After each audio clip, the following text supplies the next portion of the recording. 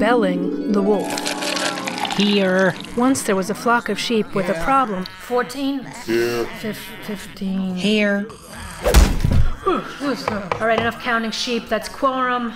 Let's get to the issue. The wolf. Good news, we have a plan. Uh, Jeremy, can you come up here? Okay. If we put this collar on the wolf, we'll always hear where he is. Jingle the bells, Jeremy.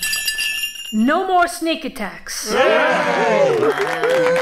Jeremy, our bravest sheep, has volunteered surely to be ripped apart and eaten in the process. It's a suicide mission, and this flock salutes you. Excuse me. Why can't it be a you? It's always Ram that go on suicide missions. You know, he, he volunteered for this. We need a male sheep. The fatherless lambs need a role model.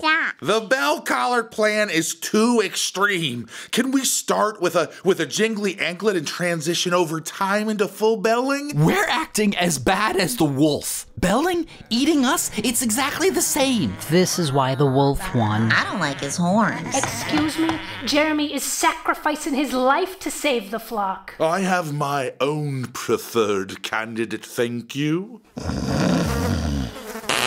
What? That guy can't bell a wolf. He's blind, he's deaf, he's probably dead. He's the only member of this flock whose morals entirely align with my personal beliefs. Whether he can bell a wolf is secondary. I read here that Jeremy Sheep has sexual liaisons with shepherds. I read it, so it's true.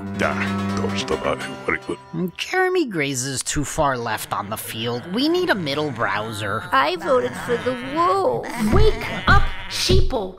If we wait around for a perfect candidate, we're just gonna keep getting eaten. Well, I can't compromise. I'll never vote for Jeremy. And I'll never vote for who she'll vote for. Let- Let's start over with new candidates, caucus, primary, recall, reject, start over again, and then.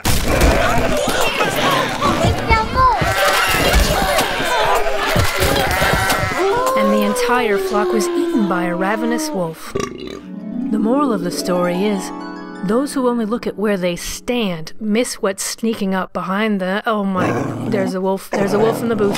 He- Help, help, there's. Ah!